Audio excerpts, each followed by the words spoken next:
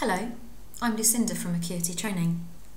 I'm going to show you how to convert text in a Word document into a table in 2007 and 2010. Let's open up a file that I've got ready. Here's my Word file with text in columns currently and I would like that text to be in a Word table format. To do that, I first of all need to know how this has been created into columns first. And what I'm going to use in my home ribbon, in my paragraph group, is something called show hide. And if I turn that on, I can begin to see how somebody has actually columned this document. Have they used spacing? Have they used hyphens? They've actually used, haven't they, the tab button. As you can see, we've got the tab arrows coming in here and they're going to help create this text document into a table. To create this um, column document into a table, we first of all need to highlight the text that's going to come into the table. So I'm going to highlight from first name, surname, department, from the headings of the table basically as they will become, right the way down to the base of the table, which is Hugo Castille. To create this text file into a Word table now, we go to Insert. And in Insert, we have our Table button.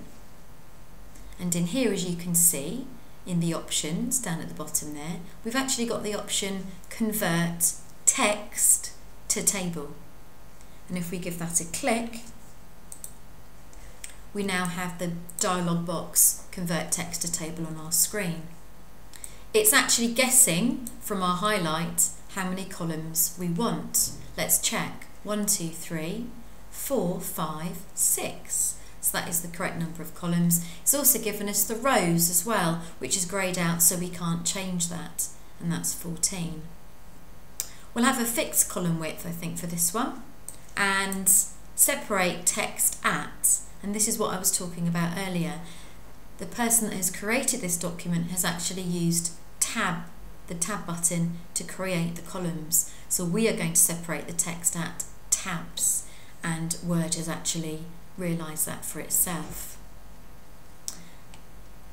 Notice that you can have other and any other symbol that somebody has used. Click on OK and your table or your text has now been created into a word table, as you can see. What you'll now notice is we now have the availability of our table tools in our contextual ribbons here to design our table, as you can see, and to, there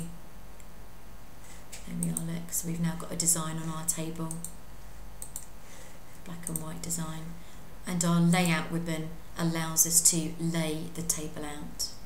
And that is how we can convert text into a table format in Word 2007 and 2010. Thank you for listening.